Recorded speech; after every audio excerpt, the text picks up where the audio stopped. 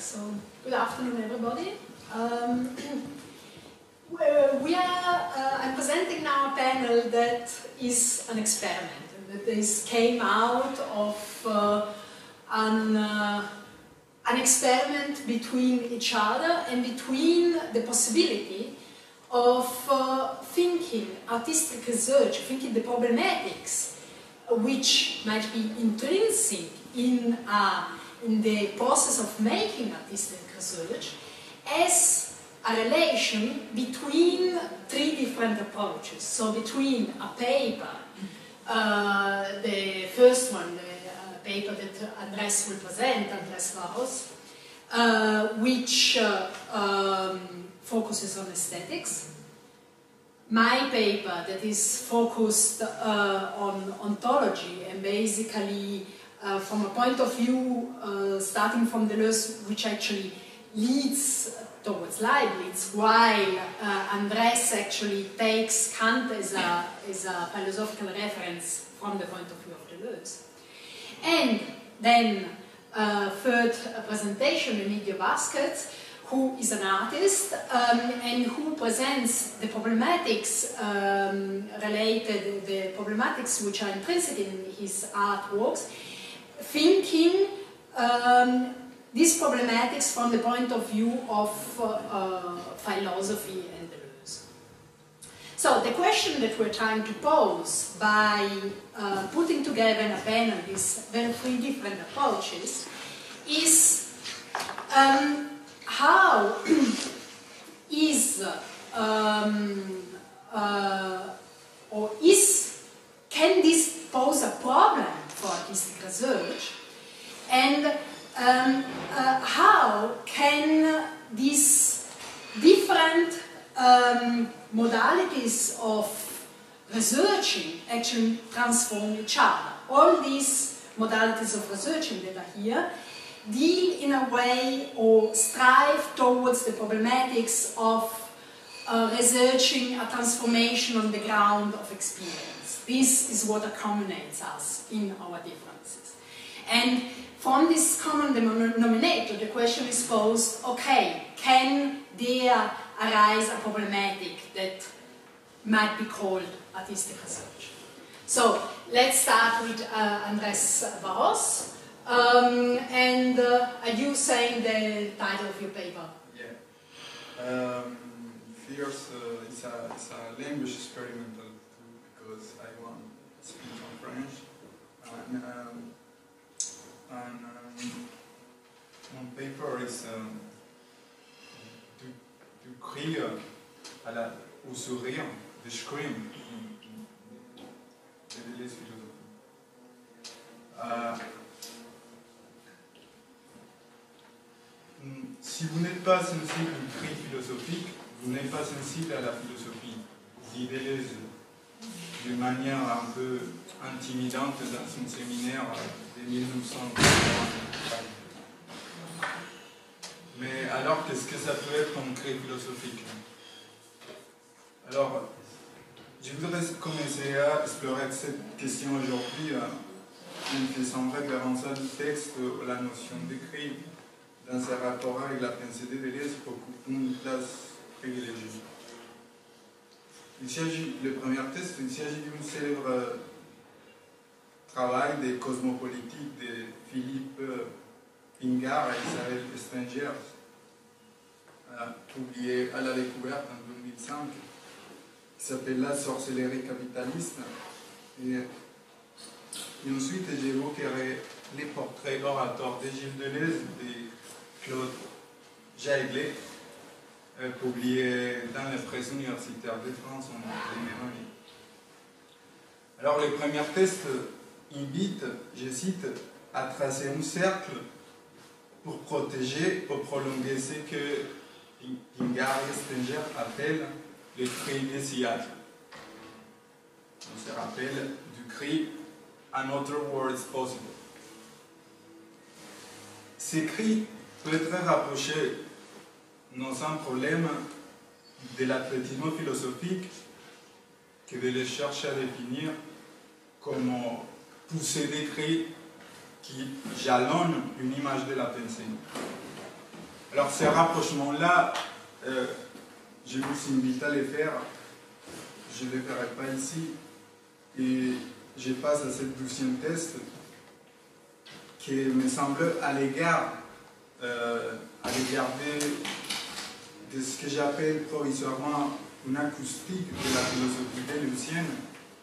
Euh, les tests de Jaëgle, les portraits orateurs de Deleuze, me semble au contraire poser une approche plutôt réductrice du rapport créé-pensé dans cette philosophie. Alors, je vous rappelle rapidement les schémas de l'analyse de Jaëgle qui, qui trouve sa source doctrinale, je dirais, euh, chez Aristote dans l'histoire des animaux. Alors, les schémas, c'est un peu près comme ça. À l'origine, il y a une voix inarticulée, la faune, comme matière d'une son animale euh, placée indécessable du seuil du langage. L'articulation de cette voix par les langages ou la langue déliée de l'homme donnait lieu à les formes conventionnelles de l'échange social. Or, si les, oiseaux et si les oiseaux peuvent aussi articuler des mots, et les dauphins euh, sont capables de composer des sons qui sont transmis à leur, à leur euh, congénères, et pour Aristote, il y a des dialectos animaux qui ne sont pas seulement des cris de douleur ou des plaisirs. Il faut que la voix trouve dans l'homme une fonction proprement symbolique ou significative, et non simplement signalétique ou indicative, et, que chez, les animaux doués des raisons, et pour, d'une petite bouche, euh, la parole devient logique, poétique ou délibérative. Alors, Jaegle ne fait que rendre plus romantique cet euh, schéma, puisqu'elle va affirmer que sous l'élaboration conceptuelle de Deleuze se trouve tapis une espèce de voix féroce qui, au-delà de, la formulation académique, devient la plus haute clarté d'une parole inspirée. Alors dans cette analyse, les tournures de Deleuze sont réduites en un style dont l'élan fantastique rapproche à la fois l'intensité dramatique, d'une poésie et la cadence médusante de la musique. C'était tout déjà réglé, à cependant le mérite de souligner l'importance que Deleuze accorde dans ses séminaires à l'élaboration, dans ce séminaire, au, thème d'écrit, au sujet d'écrit. Par exemple, en écoutant les cours enregistrés sur les Nice de 1980, on s'aperçoit que les articles tôt les thèmes du cri avec la question de la création des concepts dans ses rapports à la musique et à la peinture. Alors, dans ces cours, de les affirmer que la philosophie, que le philosophe n'est quelqu'un qui, qui, a quelque chose de spécial à signifier, ni quelqu'un qui chante le monde. Cette affirmation peut être mise en rapport tout de suite avec euh, l'expression et la célébration du monde pour la parole qu'on trouve par exemple dans la phénoménologie des merveilles. Pour Deleuze, le philosophe est quelqu'un qui aurait les besoin d'écrire alors, l'écrit sur les mots singuliers du concept coupe et prolonge une sorte de monologue pré-philosophique que les appelle plus pensées. Quatre ans plus tard, dans une course la pensée et le cinéma, revient au cri pour définir ce qui serait une image de la pensée. Alors, la notion linguistique des chronotope proposée par Bakhtin et la distinction ornithologique entre cri d'alarme et chant nuptial va, lui permettrait de considérer l'écrit comme un signal qui jalonne l'image de la pensée supposée par la méthode et le discours philosophique. Pour dégager cette image implique, un effort supplémentaire à la compréhension philosophique. Il va permettre de quantifier, selon lui, l'apport créatif d'une philosophie en fonction de l'écrit poussé ou d'écrit poussé. Ainsi, il évoque ou il quantifie que la philosophie de l'Église et les principes d'air sont suffisants quand il est jugement synthétique a priori, Descartes, il est cogito, et Aristote, il a un intestin. C'est une sorte de tableau classificateur. Alors, mais, mais, mais le thème du cri n'apparaît pas seulement dans, dans, les cours enregistrés. Il joue aussi un rôle déterminant dans l'œuvre écrite. Dans l'image mouvement, par exemple, la manière d'y arriver au cri permet de distinguer les montages dialectiques organiques du cinéma soviétique des, euh, des montages expressionnistes du cinéma allemand qui va être défini pour les rapports de la lutte intense entre la lumière et l'ombre ou l'effort pour faire sortir du chaos une forme spirituelle. Dans les plis, les principes d'air sont suffisants et définis comme cri qui signale une classe d'êtres qui sont des identiques, dont les principes philosophiques est seulement la manière de les connaître, de les entendre. Enfin, ben, qu'est-ce que c'est la philosophie Avec Guattari, l'écrisement, l'écrit, l'écrisement est présenté comme un trait diagrammatique de l'image dite moderne de la pensée. Je vais m'attarder sur cette division du crisement comme un trait ou comme un signe ambigu de l'image de la pensée que et Guattari appellent moderne. Mais avant de cela, je veux souligner l'usage critique et clinique très pédagogique que de l'effet de cette notion à la lumière d'une histoire polémique de la philosophie. Je vais évoquer seulement quelques moments décisifs de cette histoire.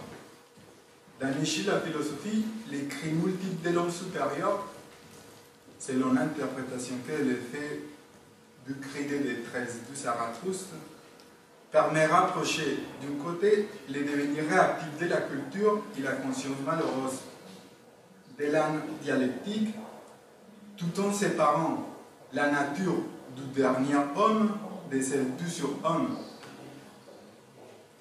Et ceci, contre l'interprétation de la pensée nietzschéenne de Heidegger, pour qui l'homme traditionnel doit être surmonté par un surhomme prêt à conduire l'animal métaphysique à la plénitude de son destin.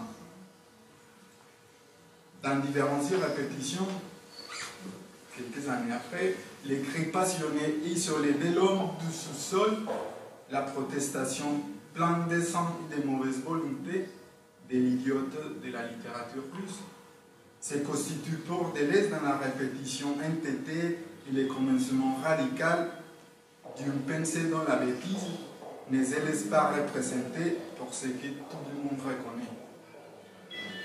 Les mêmes années, dans les Spinoza et les problèmes de l'expression, Deleuze interprète l'escolie de la deuxième proposition de la troisième partie de l'éthique.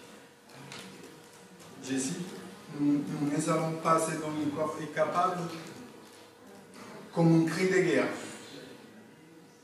Dans ces cris de guerre, Deleuze particulier l'affectus spinoziste et l'affect nietzschéen selon les modes de composition du corps et les rapports de force d'une politique dont, les lois sont identiques à la puissance du droit et non du devoir moral. Dernier exemple, dans l'image mouvement, Deleuze oppose la réponse des personnes idée pour celle à la crise historique de la perception naturelle. Pour Deleuze, les cris éclatants des matières immémoires, à savoir toute conscience est quelque chose, défait chemin qui va du mouvement acentré du monde vers les champs de perception organisés par une forme d'intentionnalité. Les cris de des versants se présentent à l'encontre du cri repris par Sartre et par Merleau-Ponty, les cris des Rousses, toute conscience est consciente de quelque chose. Les cris de guerre des versants va faire de l'univers l'écran sans œil ou la luminescence sans lampe d'un cinéma dont l'image mouvement est identique à la matière.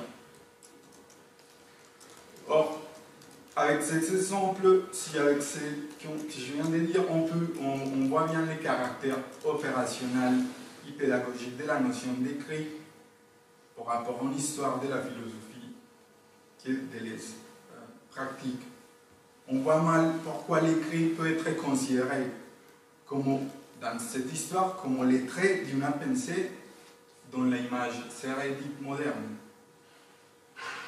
Alors, ce que pour Deleuze, faire des tableaux et des classifications fondées dans des catégories d'analyse qu'on pourrait croire révolues ou illégitimes, comme moderne ou classique, résulte intéressant si l'analyse comporte une évaluation des traits, des signes qui, caractérisent un mouvement artistique ou un mouvement de Ainsi, lui, non seulement quantifie les philosophes pour leur, pour crise, mais il quantifie aussi les plans philosophiques pour leurs traits diagrammatiques, négatifs ou positifs, autant qu'il quantifie les personnages conceptuels pour leurs, symptômes. On comprend alors que l'image moderne de la pensée soit définie pour un signe ambigu tel que la montée du crisement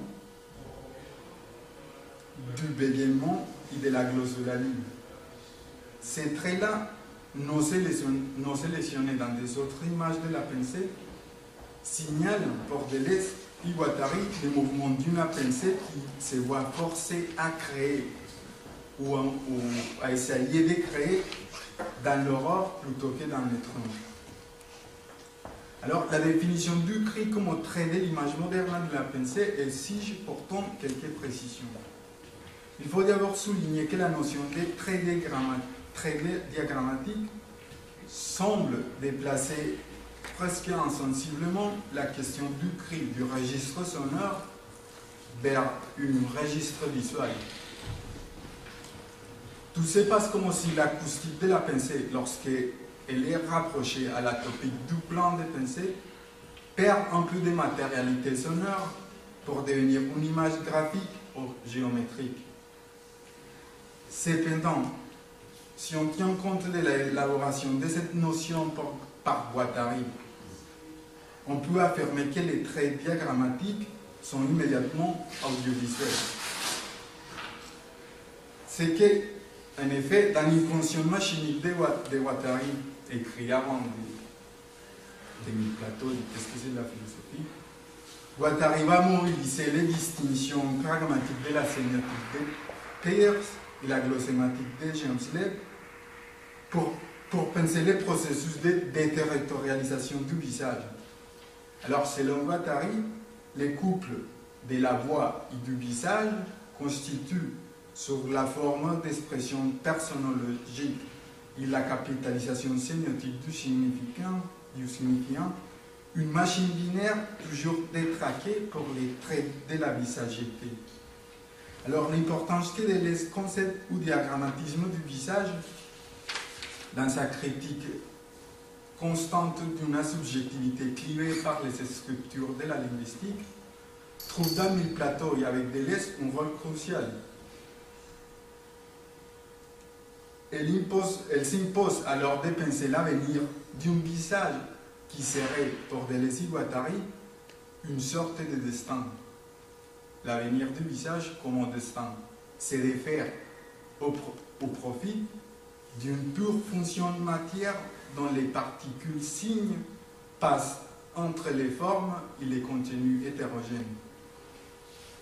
Alors, dès lors, la question de la machination de la voix et de la figuration du visage prend une dimension technique accrue pour une philosophie où l'avenir du visage résulte à la fois indissociable de la désorganisation du corps ou de l'organisation du corps.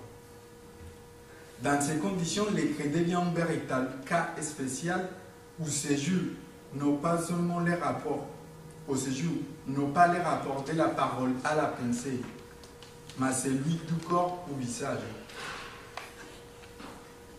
Alors, cette manière d'aborder la question se sépare immédiatement de toute une tradition qui a fait de la trace et pas trait de Heidegger à, à Derrida un élément important pour penser les rapports entre la parole et la pensée. Alors, avec Deleuze, l'écrit devient un signe distant, ambigu, alors selon qu'il s'agisse de, la, de les processus qu'il appelle schizophrénisation de l'écriture ou hystérisation de la peinture. Dans la formule d'Artaud, laquelle affirme qu'il faut briser la langue pour toucher la vie, Deleuze voit un procédé actif de désorganisation du langage qui transforme la valeur phonétique des lettres organes par l'action tonique du cri souffle. Les d'Artaud sont les crépitements d'une langue affective dont le ciment est fluide et les corps organiques. Dans un autre registre, lorsque Bacon affirmait qu'il faut prendre les, cris plutôt que l'horreur, pour Deleuze, cette vue comporte la déformation des figures par l'exploration amévoïde des contours. Ainsi, la bouche qui crie devient un organe déterminé par lequel les corps s'échappent vers une aplate matérielle vif et dur. Si on peut dire, comme on l'a fait dès lui-même, que l'effet intensif du corps sans organe permet rapprocher Bacon d'Artaud, les cris invitent plutôt à les séparer. D'une part, les cris soufflent, c'est une action qui plonge les mots dans la profondeur du corps, tandis que, d'autre part, les cris c'est une opération qui mesure les figures dans la profondeur maigre d'un système corps couleur plan. Cette mince différence technique marque la traversée délicate qui présuppose passer pour Deleuze de l'analyse critique et clinique du rapport corps-langage à celui du rapport corps-figure. Alors, le premier rapport corps-langage sera défini par Deleuze comme une lutte entre la bouche qui engloutit les mots et les cerveaux qui parlent des de manger, tandis que le deuxième implique une lutte entre la bouche qui crie et les corps qui cherchent à s'échapper par les trous ouverts dans la viande. Cette nouvelle lutte est la logique de la sensation et pas de la logique du sens implique des nouvelles forces qu'on ne trouve pas dans la, dans la première lutte, celle du corps-langage. Alors, je vous rappelle que dans la logique du sens, elle développe une sorte de roman logique psychanalytique de l'idée d'une genèse du son, du sens animé par les non-sens. Cette genèse engage une série de transformations énergétiques telles que les pulsations physiques qui deviennent des pulsations, des pulsions libidinales pour se transformer ensuite dans l'énergie potentielle d'une surface désexualisée, la surface désexualisée du langage. Dans cette, transformation, les systèmes sonores du corps, dont les cris soufflés d'Artaud fait partie, retrouvent son plein usage dans une bouche libérée du bruit il possédait pour la voix venue des noms et remplit des paroles insolites avec les cris pan, avec Bacon, de les explore les forces d'isolement, des déformations et des dissipations des figures, ainsi que les, que langages qui correspondent au cri souffle d'Artaud menacent du fond les corps langages d'une catastrophe, la faillite de l'organisation inappréciable ou inaperçue du point de vue logique de la surface, avec les cripants des bikes, la profondeur superficielle de la viande, supporte l'insistance d'un sourire qui conserve les contours de la bouche. Alors, si l'isolement de la figure rendrait visible la lutte du corps dans son armature, la déformation du visage par l'écrit rend visible la tête ou la figure qui se dissipe en conservant une inquiétante sourire. Là, je vous remercie.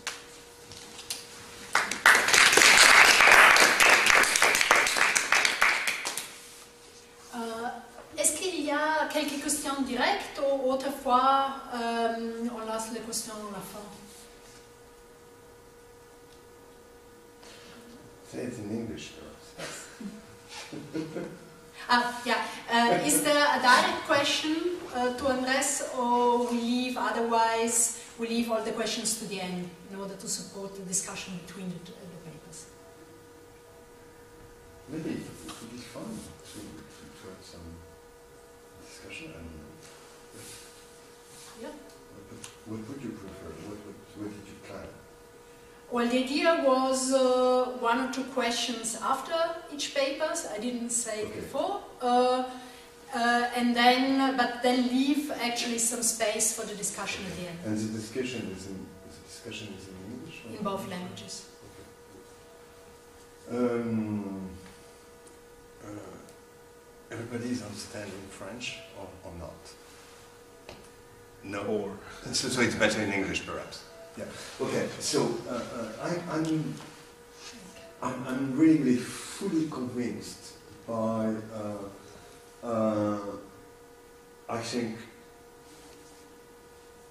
the main articulation that you propose on the on the screen, the cri, uh, which is on the one hand uh, Nietzsche, and I think that uh, uh, the question of the Zarathustra's animals. Yeah, is absolutely fundamental. Because this is, I mean, intuitively and conceptually absolutely sure yeah, that it is in, in investment of, of, of Nietzsche yeah, that the screen becomes really a philosophical question, yeah, as if the screen uh, could be uh, immediately projected into the hand of Nietzsche and philosophy. Okay. So I think I think it works well, and then of course Nietzsche, Artaud, which is absolutely fine, perfect, and we see the full development and now, for example, in Logic of Sense, Artaud is a kind of of, of um, uh, Nietzsche's return, yeah, uh, into his structuralist, post-structuralist, uh, Carrollian uh, uh, logic uh, of sense, and then we have effectively Bacon, and once more, I think that the parallel between Artaud and Bacon, knowing that Artaud is absolutely fundamental in Deleuze, is Bacon is I working beautifully. Now, the question is immediately, yeah, uh, uh, is the screen exclusively limited to philosophy? I mean, where do you include the work with, put it very simply, yeah? Let's say the work with Guattari into this properly Deleuzian investment of, let's say, the philosophical screen. Tu as compris pas Oui. Oui. Euh, D'abord, je, je voudrais, euh, je suis d'accord avec ces rapprochements avec Nietzsche par rapport au cri, mais, mais ce qui me semble là fondamental, c'est que c'est que il y a une, philosophe qui a fait une interprétation du cri nietzschéen, c'est-à-dire qui appelle, qui appelant, qui, qui appelant nous penser des, Heidegger, euh, c'est centré sur euh, l'écrit de Nietzsche. Il faut, il écrit qui va être interprété, c'est n'importe quel écrit, c'est les desserts croix, ou les desserts puces, ou les desserts s'étend. Et alors, si on prend compte que, quelqu'un, par exemple, comme Derrida, va vouloir tympaniser la philosophie vers cette voie d'écouter les cris des philosophes, il me semble que la façon comment les articule, les cris de la création conceptuelle, est, vraiment un point de rupture avec, euh, avec euh, toute une tradition de, cette lecture. D'ailleurs, plus important encore, Derrida va faire une critique de la voix, de la voix phénoménologique. Il va faire toute une critique des, du signe signifiant, si on veut, pour, pour euh, mettre un Serge quoi, un signe indicatif comme on la trace. Alors, c'est pour ça que je crois que quelque chose de très important se passe entre, dans l'interprétation du cri que ça va faire entre, disons, cette tradition et ce qui fait des Et par rapport à la, à la question du, du, du rapprochement du cri avec, euh, disons, la non-philosophie, il y a deux choses. Ce qui, est, ce qui est un peu particulier, c'est que l'écrit d'ailleurs, comme il apparaît dans les cours de 1980, très avant, très très très avant que ça se pose la question, ou que ça devient écrit la question de qu'est-ce que c'est la philosophie, mais dans les cours, on est déjà en train de travailler cette question de un effet qui s'est posé de ces questions. L'écrit va, va apparaître comme un élément d'exclusivité, si on veut, de la philosophie.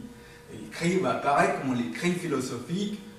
Dans les premières cours, c'est comme ça, on va classer les philosophes parce que les philosophes, c'est quelqu'un qui écrit quelques années après, la rencontre Guattari, dans l'écrit, dans cette classification qui ont fait des philosophes, ils vont apparaître aussi des personnages, disons, de la littérature qui écrivent et qui, font partie.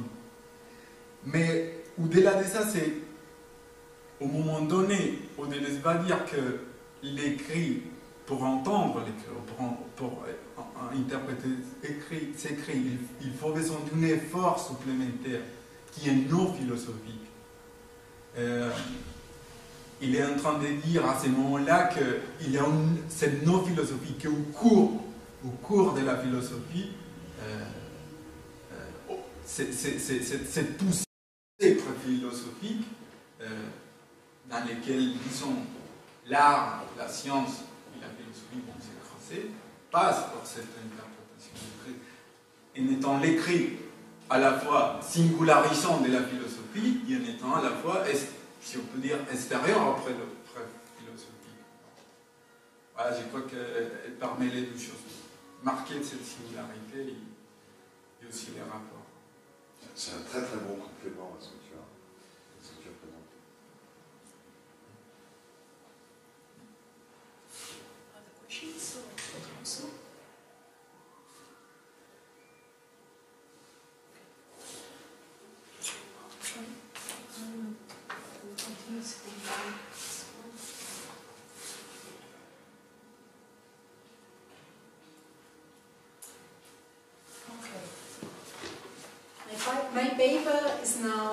changing argument, is uh, intitulated uh, on the logics of forces uh, between Deleuze and Leibniz, um, or Leibniz Deleuze. And uh, I start with the question of the substance versus force. For Leibniz, the metaphysical problem of inquiring the nature of substance comes along with a geometrical physical procedure relative to the research uh, of its own means of construction. The question of construction um, uh, implies the necessity to conceive a body as something more than extension. That is, to think it in terms of a potential transformation. What are the necessi uh, necessary philosophical means to think substance in terms of transformation? The predicate needs to be inherent to the subject. It is virtually included. Subject and predicate are not bound by feature attribution, but by means of the constitution of a relation. Substance, therefore, therefore is not defined in terms of its essence, but as, quote, the active source of its own modifications, its own, of its own ways of being. End of quote. That is, substance is de facto inseparable from its own ways of being. Thus cannot be defined outside its own maniers, but includes the whole realms of our expressions. A realm which is in principle infinite. What nevertheless delimits the boundary of finitude is the constitutive force of its own nature, its own power of action. This power of action is what generates the event of transformation. This event, as Deleuze remarks, is produced by the predicates, which for Leibniz are intended in terms of a relation and not of an attribute. Quote, the nature of an individual substance or of a complete being is to have a notion so complete that it is sufficient to include and to allow the deduction of all the predicates of the subject to which this notion is attributed. The conception of a complete being is thus bound to constitutive multiplicity and constitutes an operation of both inclusion and deduction of all the predicates relative to a particular subject. Inclusion implies that the predicates are in a way incorporated within the subject. Otherwise expressed, it means that the subject cannot be fully, fully defined outside its relation disagreement with the equation established by Descartes, uh, conceived the uh, moving force and the movement uh, produced by it in a relation of equivalence, Leibniz conceives a relation of correspondence between force and its effect. Force entails thus a more real character than movement, inasmuch as movement as such does not account for the relations of interdependence between a number of bodies. This more real character is what counts for its metaphysical status. Force becomes the cause, the cause of corporeal substance, providing an explanation of corporeal substance outside extended phenomena. Due uh, to this movement of the of form, force determines substance in abstracto. What is then the effect? It is the production of an inner transformation of substance, but also the production of the nexus itself. The notion of transformation itself implies both the onset of a gradual change, but also the persistence of unvaried parts. For this act, the unity of substance uh, is split into a plurality of states of relationships. Multiplicity is created within a unity. As Gueroult puts it, force constitutes an internal power of expansion, by which uh, the monad qua multiplicity becomes active. Its activity consists into the extraction of a modality of confrontation between a particular case of transformation and another one. It consists into the ability to seize the condition of possibility of transformation itself. A stage coming prior to the unfolding of the particularity of each transformative act, and which indeed does not encompass it. If, if movement expresses the variation inherent trans in transformation, force accounts for its cause. For its cause.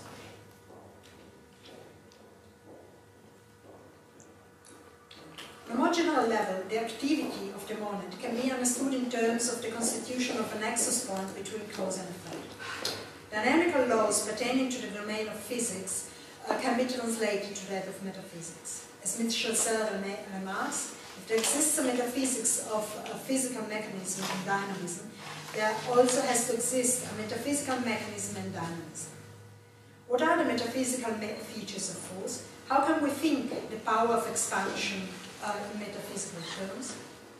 A text uh, written between 1683 uh, and 1686, um, how to distinguish real phenomena from imaginary ones, Leibniz attributes solely to force the ability to grasp some reality. While features of extended bodies such as light, heat, color, now the similar uh, qualities are merely appearances, the bodily substance consists in the force of acting and of suffering. This equation requires an idea of substance which takes distance from that of substantial form. Morphe gets replaced by an activity which, in the Leibnizian universe, becomes metaphysically necessary. As Russell explains it, activity measures the degree of quality characterizing each temporal state of substance, in virtue of which that state is not permanent, but tends to pass to the next state. Russell points out the difference between the notion of activity and that of causation. While the latter is constitutive of a relation between two phenomena, in virtue of which one is succeeded by the other, Activity expresses the quality by which one phenomenon, one phenomenon tends to cause another. Activity is an attribute corresponding to the relation of causality. It is an attribute which much belong to the subject of changing states, insofar as those states are developed out of the nature of the subject itself. Activity is not mere relation. It is an actual quality of substance, forming an element in each state of the substance, in virtue of which the state is not permanent, but tends to give another place, uh, give place to another. Substance becomes thus intrinsically an intrinsically dynamic entity, capable to transform and to transform itself, while activity comes to measure the degree of such change. Is this mutation in the notion of substance conceived not, uh, not as already constituted, entity, but rather in terms of a regulated tendency, which allows to grasp the centrality entailed by the notion of force in Leibniz thought. Force is a metaphysical matter whose strength varies, according to the degrees of expression of substances. Force is passive, in a, passive inasmuch as substances express something in a confused way, and active in the opposite case in which expression becomes distinct. It is by considering force in its relation to activity as a substance that Leibniz comes to define an extended notion of force, which gets extracted from physical principles without remaining bound to them. In to capacity, concept describing exclusively the possibility of action deriving from external stimuli, force entails a character of intelligence. Action gets conceived in terms of its own form of production. Force thus constitutes the principle of action inasmuch as much as it passes of itself into action. The rules by which this procedure of expansion is made possible um, are the two principles constituting the basis of reasoning.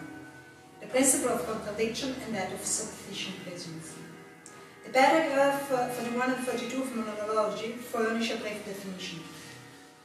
While the law of contradiction states the opposition between true and false, the second one um, claims a principle of reason as being the moments of both reality and existence. How is this principle connected with the notion of activity? The intrinsic dynamical condition of substance imply a transformation over time. But how can this transformation be conceived? How is it possible to infer knowledge about its future states given in its actual conditions? The causal condition implicit in the principle of sufficient reason accounts for connection between different states. However, the principle goes further. It does not show only that a particular change of course, but also why it does. Russell uh, uh, resumes it by claiming that the sufficient reason is to be found in the nature of activity itself. This does not mean that the connection between two states would be necessary and thus predictable. It is rather the consequence of the passing condition of an act of perception, which both involves and represents a multiplicity in the unit or in the simple substance. This passing condition or momentary increment demarcates the more real aspect of force, more real than the sum, the sum of all increments defining the whole trajectory.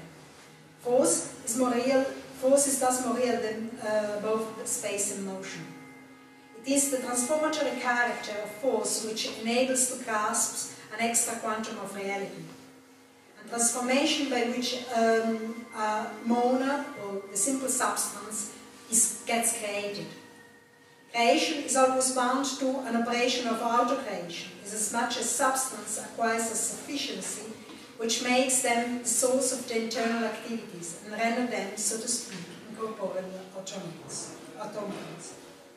It is in this regard that the concept of force intervenes in terms of a metaphysical principle of corporeal individuation and thus in the creation of the uh, corporeal mechanisms of perception. Perceptions are generally insensible. So now from force to perception, and this is where it comes to the conclusion. It is only with the upsurge to a status of clarity that an idea can arise to formation.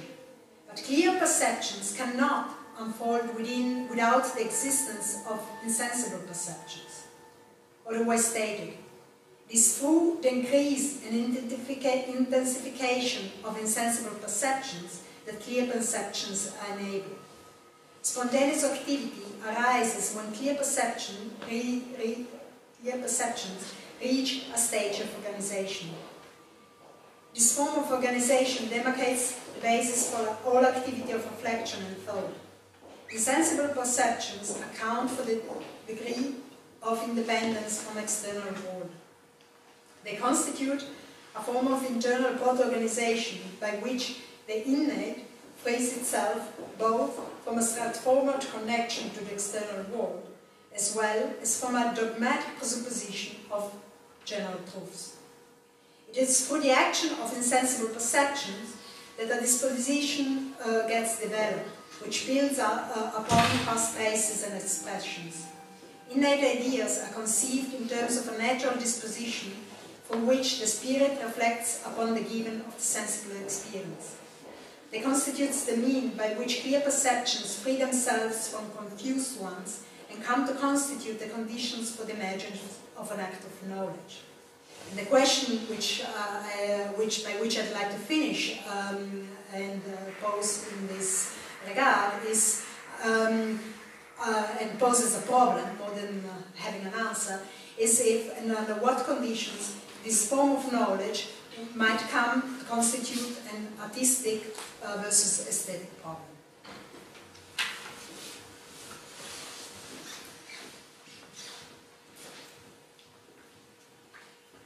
Yes.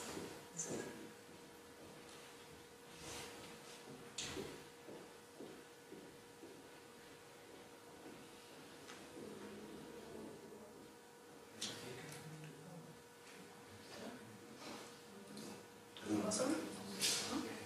Mike is unique. C'est bad.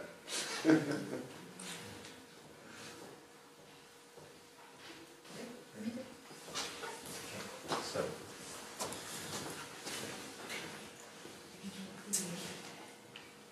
uh, my presentation, first off, um,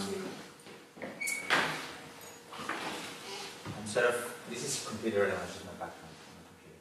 Um, but I'm gonna move in a second to a, to a PowerPoint. So I'm not um, really an, an artist, but I have a background in philosophy and mathematics, and I try to make art. And this is a, a paper about trying to make art with a heavy ontology and a heavy uh, metaphysics of space, basically. So, um, just I found out that this is going to be re- uh, recorded, so I want to clarify something in my um, in my um, abstract. Um, I'm interested in manifolds as a structure of, uh, of what Deleuze defines to be uh, ideas and, and multiplicities. Um, and I'm interested in how we can use the, the notion of manifold in, in different uh, domains.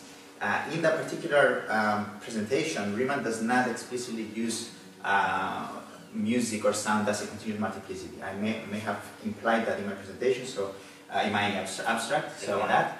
Instead, confusingly, is uh, Bergson who defines uh, sound as a, as a um, continuous qualitative uh, multiplicity, which is misleading because um, in my reading of uh, Bergsonism, uh, Deleuze forces uh, Riemann upon uh, Bergson.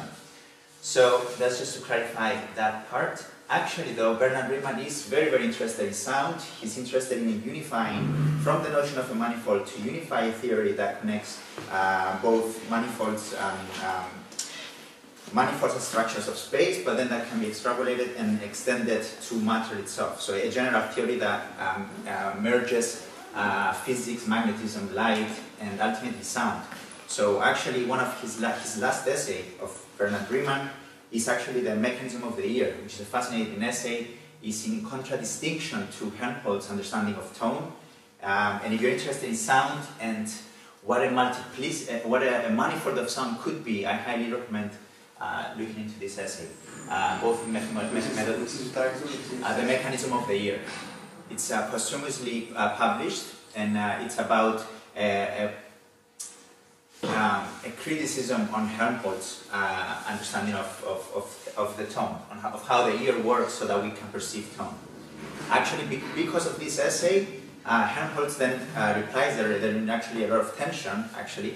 Uh, Helmholtz uh, has the, uh, he calls Riemann a, um, an amateur, which is ridiculous. But um, he actually incorporates that notion of a space, and that's why we can now talk easily about the color space. So that comes out quite easily now. But uh, Riemann was the first one to say that actually color is a manifold, and there can be other things as manifolds, including sound. So that was just corrections. Um, but if we were strict enough about what sound really is, which is motion in space, then you could say that uh, it's also can use manifold in that strict understanding of, of uh, motion in, a, in, in sort of lived space. Nevertheless, the title of my uh, essay is going to be very, very light um, in philosophy and mathematics. I'm going to spend more time talking about a piece I made. Um, it's called homeomorphic sound. I'm going to explain what's homeomorphic in a second. Um, but first I want to clarify a few things. So I'm going to just read through this and then present the piece. And I promise there's going to be some sound as well, so you can, you know, not feel, don't feel jealous of those guys in the, the room. So, uh, I will not be presenting a, a, philosophical argument or engaging in any exposition of mathematical proofs, even though my presentation will borrow from both disciplines. Instead, I will try to express some of the challenges I experienced when working on sound and other media that relate to my background in philosophy of mathematics. Having overcome some of the obstacles, I will talk about results complete. Okay, I just said that, so I'm going to skip that. Before delving into what homeomorphic sound might be, I want to just throw four remarks in kind of aphoristic form which can be understood, that, uh, understood as the underlying premises uh, of the way I understand uh, and how I work with uh, this media, sound and other media. So, my first sort of aphoristic uh, premise is any materialism is a plenism and therefore the law of continuity holds. This is admittedly a pleonasm, meaning that I don't know how there can be a materialism without being a plenist uh, at the same time. I've looked, I don't know if there's such a position. The critique of the negative is a critique against the existence of non-being. However, as contradictory as it may appear, there is non-being, but only in the form of problematic ideas. Ideas are inseparable from the solutions and already involve the conditions of their solvability. So this is chapter 4 of difference repetition. So the eye and the ear, I want to add, solve the problems of light and sound in ways already prefigured by the problems of light and sound. Once a number two, once a problem is solved, its very solutions become new problems themselves. This is why artistic creation, I think, is the art of rearticulating and redistributing the problems of the sensible. So once the organs solve the problem of light and of, of sound, then we have the problem of rhythm, the problem of tonality, the problem of timbre, the problem of color, the problem of representation, the problem of montage, the problem of the medium, the problem of the material. Since media became, number three, since media became art's problem, then a pertinent challenge to contemporary art, in my uh, view, is to reevaluate the role of the digital in the production and mediation of art. The digital problematizes the relationship dimensional way in which we understand different disciplines. If the digital, as the name itself suggests, uh, digits means you know just fingers, so numbers, belongs to the domain of the numerically uh, discrete, how does that affect art's ontology? In other words, to use the kind of Deleuzean approach, if blocks of sensations are to be found in matter, what can be found in the locus of the digital? other than numbers? What's the relationship then of numbers and uh, in the digital domain? Where are the blocks of sensation in the digital domain, basically? This is, I think, and this is number four now, my general premise, is I think where uh, Riemann's concept of a manifold uh, is relevant and, and, and, quite rich.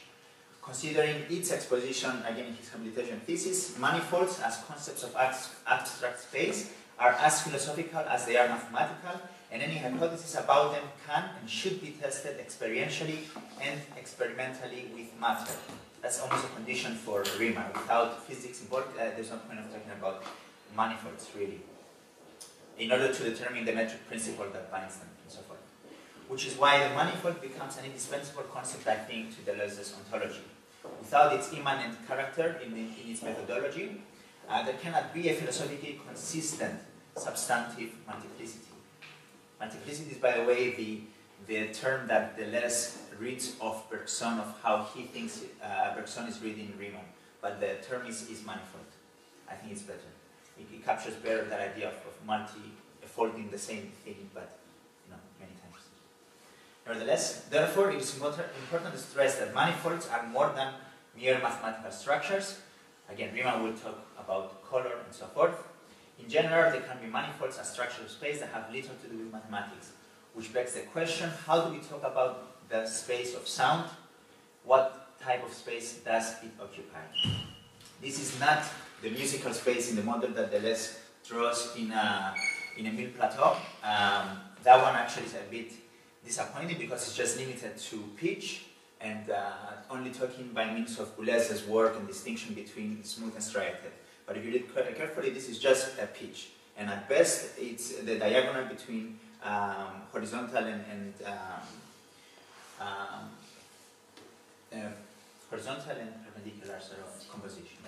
So there's no, the only uh, uh, let's say dimension of, of, that musical space is not sound itself, it's pitch within this very, very restrained uh, sort of framework, which um, the space of sound itself is much, much, much richer, especially when we consider its multidimensionality.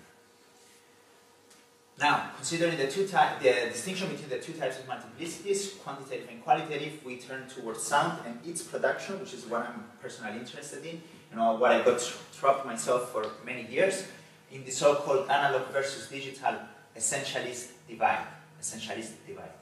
It is tempting to assume that the digital belongs to the numerical, um, and therefore uh, it must correspond to the quantitative multiplicity or quantitative manifold, and therefore the analog, which involves material signals and electricity, must uh, be in the qualitative domain.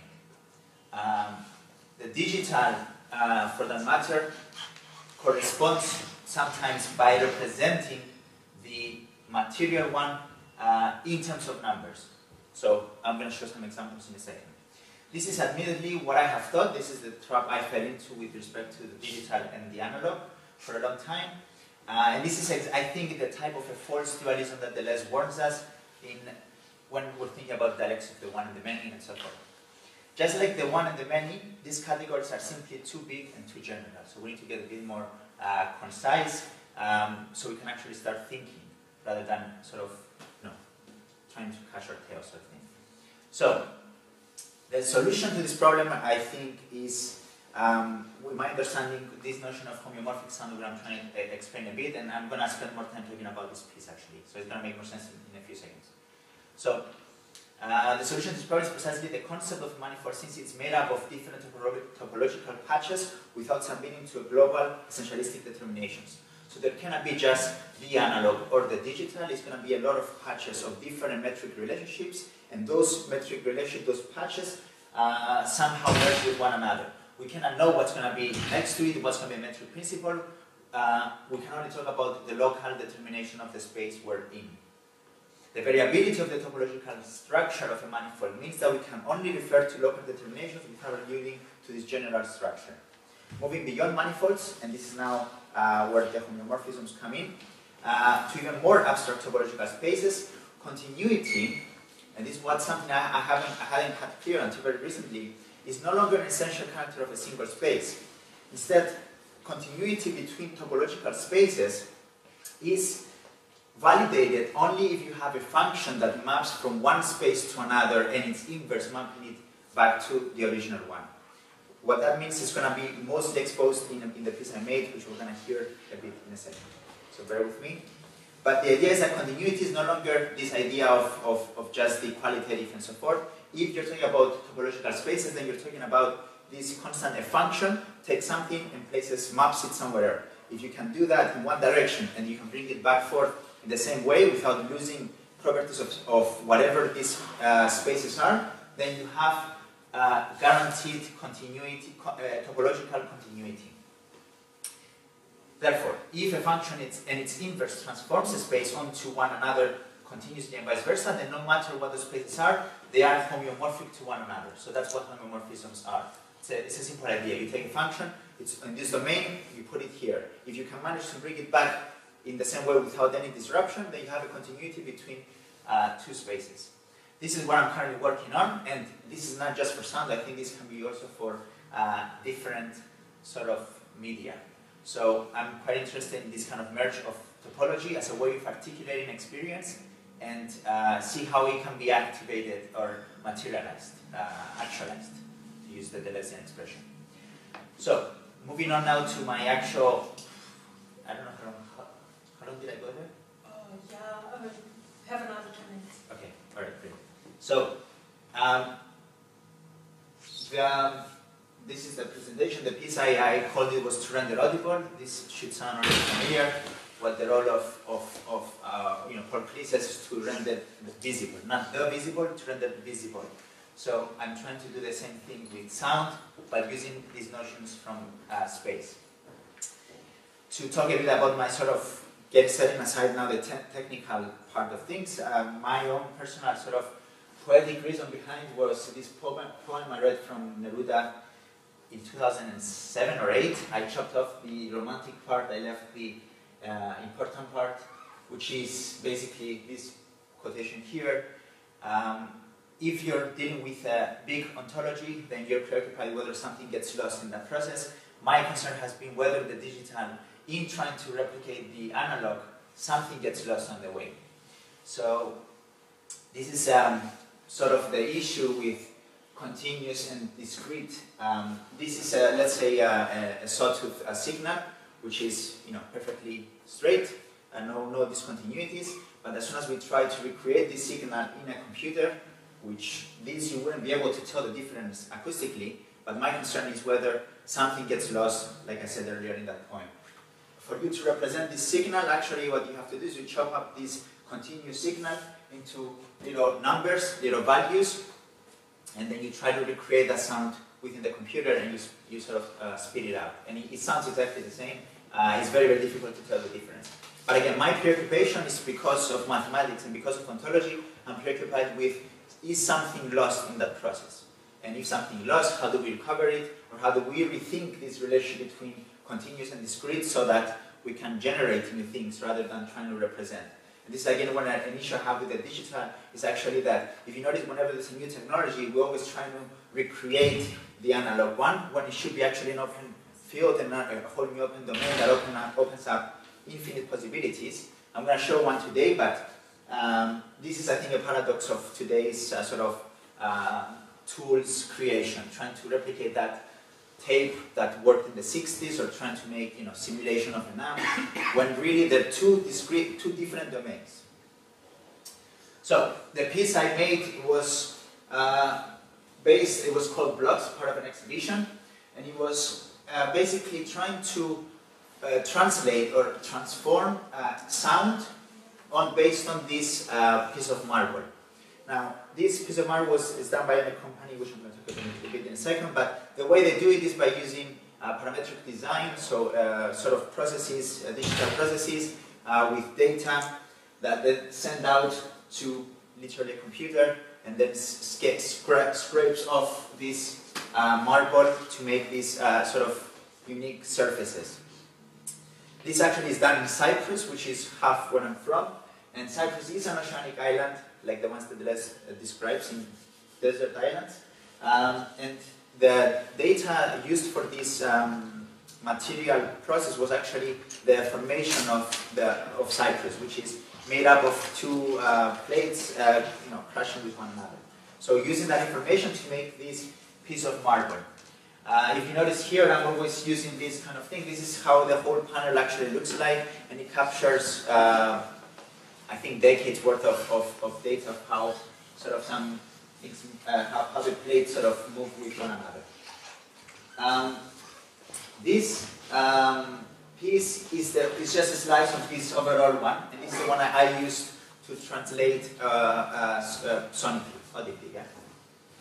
So, what I, what I was given was the digital, the, uh, digital rendering of this uh, sort of computer. What I try to do is use this information to end with sound, trying to make a piece out of it. Um, this is a synth. I don't know if anyone here makes music or works with sound. This is uh, called a synth called MetaSynth, which sounds really cool. If you don't know what it does, uh, it's kind of like a uh, yeah, like metaphysics, MetaSynth. Yeah. So it's a uh, when I first when I first came out, I, I, immediately got it because it looked like a fascinating idea. That you take any photo, you put it into here, and you do something with the information of pixels. Uh, I've owned this software for five years. I've never used it until this piece because, uh, again, getting caught up in, my ontology and mathematics, I couldn't justify using this for the sake of transformation uh, or just because it makes cool sounds. So I was trying to find a more legitimate artistic reason to use this sort of uh, software.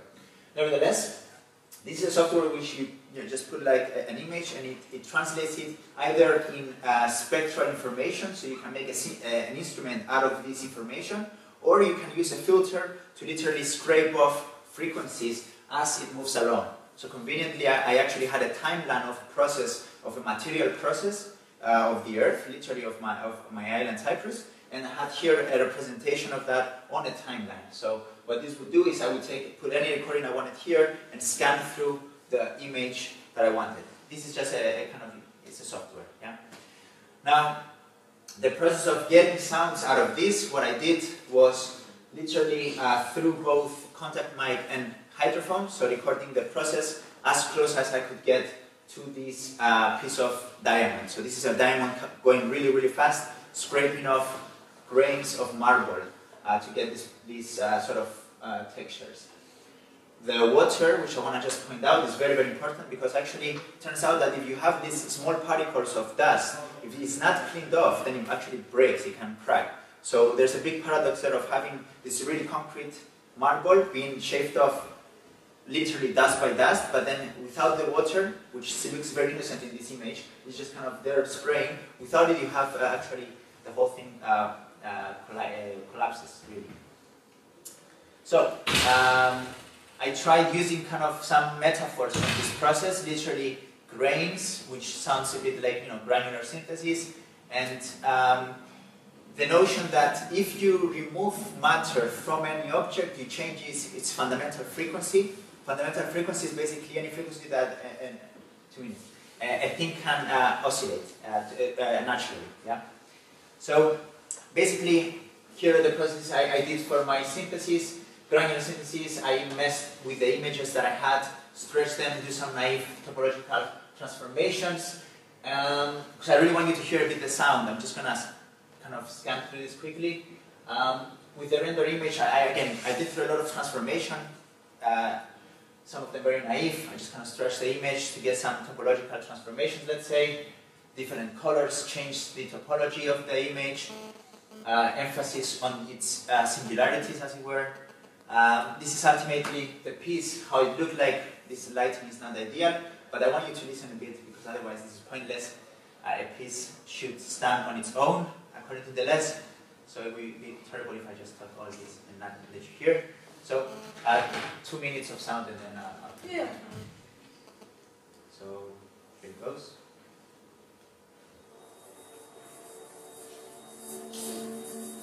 うん。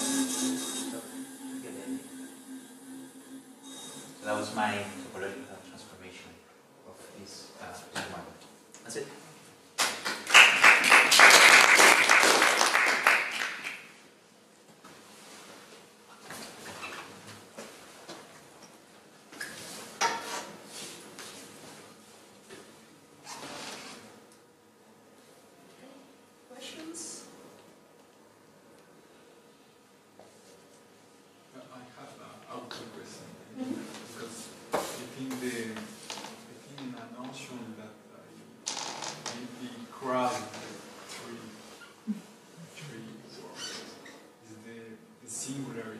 what is the important the singularity Yeah. With the machine working with material, machine fine.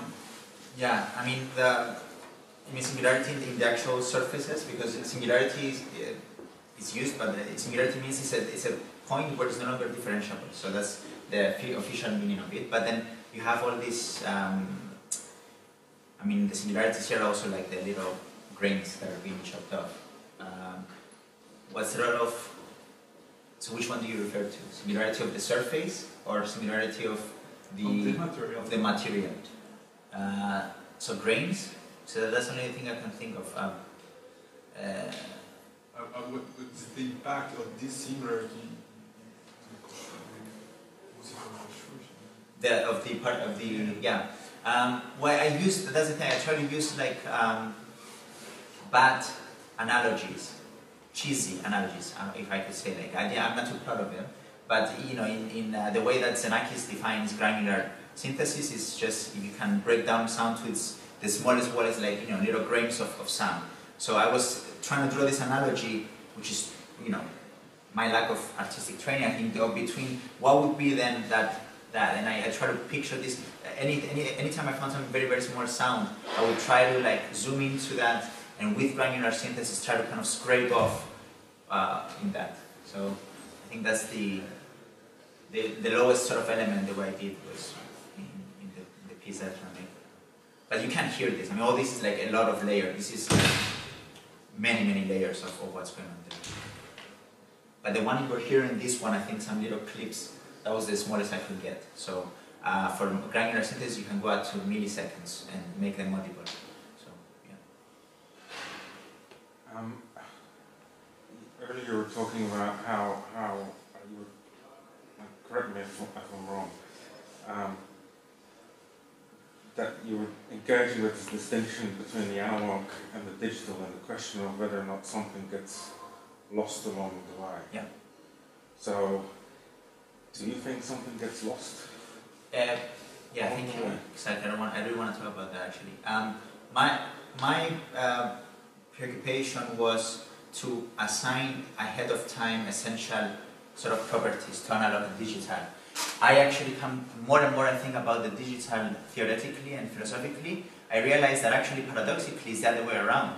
It's the digital because of its openness to be anything that it can be, to be defined in any any possible way. Actually, it can, I think, open up things that we would have been unimaginable before. I mean, of course, this happened already. Now, in the translation of the analog to the digital, I think something is lost, absolutely, but the, the error has been to try to translate the digital or to imitate or to represent with the digital analog. So, for example, you, you'll see in, in different like kind of popular tools, so Photoshop or stuff like that, you get a bit of grain. You can put grain on your photos. No, you can't. It's not the same. It's a chemical process very specific to you know film photography, which is that. That's perfectly fine. With digital, we can make images that would be un unthinkable with film camera. So I no longer feel that uh, sort of young poetic sort of Neruda's take that something gets lost. I'm more positive or affirmative now. Perhaps this is Deleuze helping me out in my in the process of there is two domains. They are distinct. No reason why we should confuse them. In fact, we shouldn't try and pretend one is the other and find interesting ways or interesting tools that we can actually make legitimate uh, transformations from one domain to another. The media we have right now are, are, are proliferating. There's going to be more media uh, in the next few decades. And we need to embrace the digital in a completely different way. So far, we're trying to uh, go with the model that, uh, I don't know, um, coding and, and tools for, for uh, running different kind of signals uh, run. So we try to do with efficiency and what's going to be the best possible doing. Whereas I think we should go down to the sort of elements of coding, of software engineering, whatever, to try and rethink how that's going to make us uh, make new media, make new sensation, make new block of sensations, which we don't know they're there. So that's, uh, I really feel strong about it, so thank you.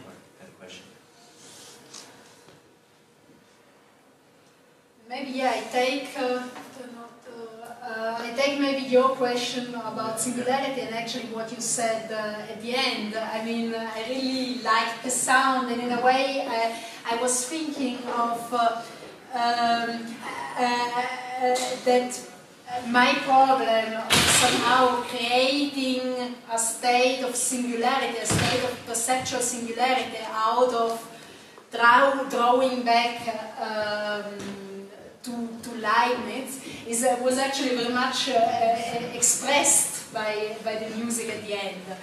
Um, and uh, um, I kind of also was wondering in a way, and also in a way in, in this relation between uh, the problem of analog digital, if this could not be addressed if the, the sound that you at the end hear, that is uh, that goes back to a form of, of, let's say, substance of matter in a in a much stronger way than uh, than the uh, the description that we did before, and uh, um, could not be the starting point of uh, rearticulation, basically of the categories itself themselves yeah, I, I, don't understand why there's. Uh, I mean, Deleuze is really good at this. He he um, in in the refrain towards the end he talks about the synthesizer, so he's really up to date with what's going on in terms of you know new sort of ways of creating sound. He acknowledges that there is uh, you know the synthesizer as being this machine, which is is, is he says it's the machine. If there needs to be a, a machine for the assemblage of harnessing forces, then it's the synthesizer. And that's whatever the date is of uh, Mille Plateaux, 86, right? And um, then there's no talk about this whole new other domain. So um, my question is, my preference is the same. Like if ultimately it's in matter itself that the sound fluctuates and generates whatever, then again, to put the original question, where are these block of sensations? It cannot be just in matter in the way that Deleuze describes it uh, everywhere about uh, the relation between the uh, material and the blocks of sensations and um, sensation itself. So in uh, what is philosophy, he'll say repeatedly that it's in matter. Sometimes you don't, you can't tell the difference between the matter and the, the sensation because they, they fuse. There's this one thing, right? I'm, I'm, I'm still wondering what's that relation to sound. He kind of almost uh, very methodically avoids that perceived question. He talks sometimes about the hammering, so that's you know generation of sound. Sometimes he talks about some sort of instruments, alludes to some instruments, but ultimately sound is no longer. I mean, we're beyond the stage which is just instrument. Sound can come from anything, can be a legitimate source of, of sound, and digital as well. So where, where is the material here? I, I, I still, that's a question. But it seems like it has to be the medium, just like other art forms have the media. The medium of sound is... is yeah, but uh, uh, the, the, the sounds that we heard was, uh, was, was material. Yes. And more stronger than, oh, uh, than the, the question, uh, I mean, uh, it had a very material effect. On me. Yeah, it, was, but that's the thing. I want to play that with that idea. It, it, sounds like it should be. I think that what I did try to do a lot here actually is kind of to get over my own problem uh, contradiction. Actually, anything that sounds like it's mechanical and matter, it's actually all, all, all fake. And anything that actually sounds like it's fake, that's actually the real material. So that's the dialectic I try to play. So you hear some stuff that sounds like shh, kind of that's that's completely fake. Uh, it's made up. It's digital. But you know, the problem is, of course, you want to your, you know, because it sounds and it represents that. And so I, I try to play with that idea. Uh, so that it's not clear. It's not clear which one is the which is the matter and which is the digital. Uh, otherwise, I wouldn't be able to overcome the dualism if I if I went for say for the material. So I use that material, but uh, the material after the transformation has gone through, it's in, impossible to trace it back. It, it becomes something sort of.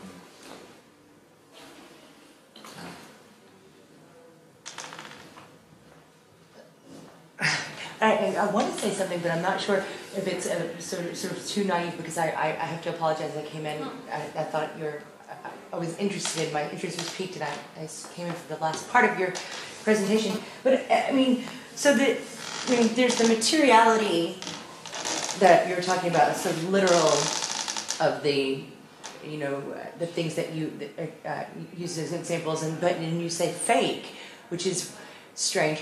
But what about i mean there's also i mean artificial.